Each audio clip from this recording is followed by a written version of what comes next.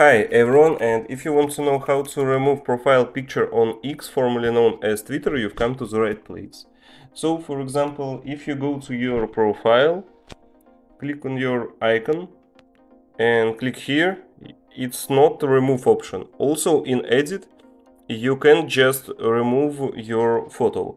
So what we need to do is just go to edit and my suggestion is just click on take photo close camera with your finger. Click on ok. And just use this uh, photo. Choose for example uh, as black as you can. And that's all. This will be the easiest way to remove your photo and change it on something neutral. Also you can use uh, pictures uh, which uh, by default on your phone, but uh, I think this uh, way is the easiest because on mobile X uh, don't have options to completely remove your photo. Thank you for watching, leave a like and subscribe.